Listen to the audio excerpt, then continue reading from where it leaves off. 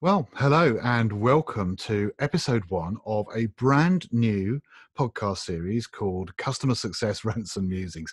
My name is Rick Adams from practicalcsm.com. You may know that I already do a podcast series, which is an audio podcast series where I invite various people from the customer success profession in uh, to have a conversation with me about you know, a particular topic of interest to them. And I've really enjoyed doing that. And that's what's inspired me to do this. I wanted to do something that was a video uh, environment as well. Uh, and I wanted to start to some express my some of my own sort of thoughts and feelings about customer success as well. I want to keep it short because I don't have a lot of time to do this, and I want to keep it informal because I certainly don't have time to edit it afterwards. So it's just going to be me live talking um, and uh, a, a, talking head, as you see here.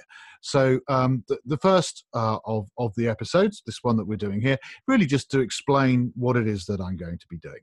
As you can see, uh, I'm going to try and release uh, maybe two or three of these, just four or five minutes each time uh, every week uh, on uh, maybe one, maybe two random topics, probably just one random topic each time. Uh, it'll be informal, it'll be unedited, it'll just go out live how it is. And you're very welcome if you want to send me ideas of topics that you want covered. I'd be very happy to consider uh, those.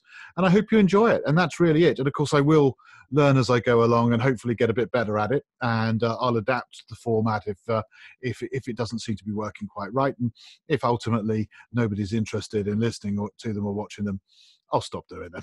So there it is. Uh, thanks for watching the first one, and I look forward to seeing you in future episodes. That's it for me. Bye for now.